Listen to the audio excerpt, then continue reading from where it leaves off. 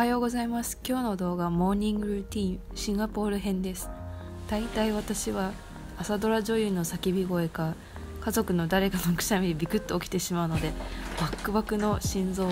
まず落ち着かせるのが朝一のルーティンです。時差があるので寝ている間に大学からメールが届くんですけど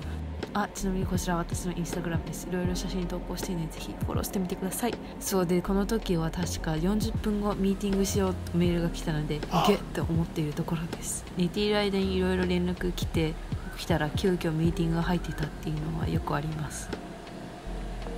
顔を洗ったりいろいろした後ラッシュのスクラブでリフレッシュしますこれはオーシャンソートっていうスクラブで塩の香りが漂うシトラスのアロマでお肌のざらつきや毛穴の詰まりを改善してくれるのできめ細かい肌に仕上げてくれます。すっきりするので朝やるのおすすめです。本当は洗面所でやるけど洗面所はあんまり映したくないのでここでやってます。スクラブの後はいつもの保湿ケアで今回はよく使っているグリーンティーセラムの簡単にマッサージしていきます。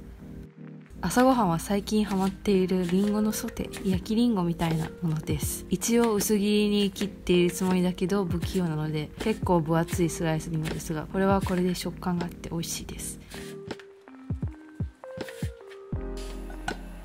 オイルとかなしでも全然焼けるので軽く火を通してから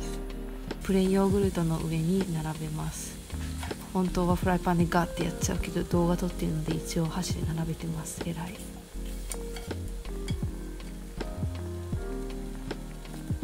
シナモンと蜂蜜とアーモンドを振って終わりです。シンガポールのりんごは当たり外れが激しいので焼いちゃってごまかして食べてます。とても簡単でシャリシャリ感があって美味しい朝食です。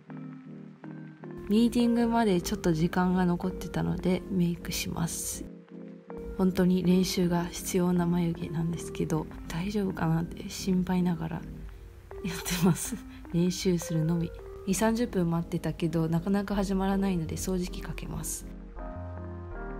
ものすごい不機嫌な顔ですがなぜかというと1時間半ミーティング待ってても全然始まらないからもうアイメイクもバッチリ終わっちゃってるしバナナとアーモンドを食べながらイライラ待ってます。昼ぐらいに相手からメールが来たんですけど忘れてたみたいです。最悪。気持ちを切り替えて編集作業に進みます。一番時間のかかるテロップを打ち込む作業に取り掛かっています。だいたい夜一気に編集することが多いけどなるべく朝にもやるようにしています。最近は。そしてメイクの続き仕上げにピンクパンプキンっていうロマンドのティントを塗っています。マスク生活だから今はもうティントしか塗らない。グロスが奥の方で泣いています。常夏なので日焼け止めも塗ってすごい顔叩いてるように見えるけどそんなに強く当たってないつもりです。最後に髪の毛を整えます。長くなってきたから切らないと。クリップで軽く留めたらアクセサリーを選びます。リングとブレスレットをつけて最後にボディミストをかけます。久しぶりの秋カラーバッグに荷物を入れてランチに行く準備をします。こんな感じで身支度完了です。そしてちょうどネイルとバッグがマッチしていました。以上で私のモーニングルーティンでした。行ってきます。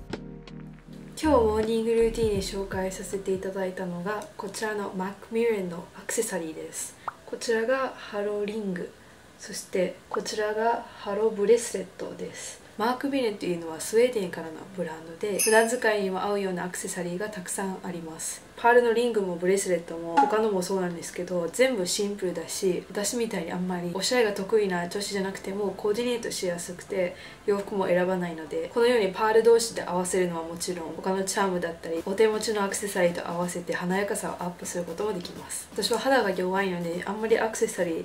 ぱいつけないんですけどこちらのブランドは金属アレルギーの体質にも優しいサージカルステンレスが使われているみたいなので安心できます。個人差はありますが比較的アレルギー反応が出にくい素材となっているそうです。そしてなんとマーク・ミレンさん本日よりアクキャンペーンを開催しています。3つ買うと一番安い商品が無料になります。そして期間中15%オフのコードを使っていただくとさらにお得になります。そのコードはカリンジューリーなんですけど下の概要欄に詳しく貼っているのでぜひチェックしてみてください。こうやってね箱に入ってくれるのでパッケージもそうですが価格的にもプレゼントにぴったりなのでぜひチェックしてみてください。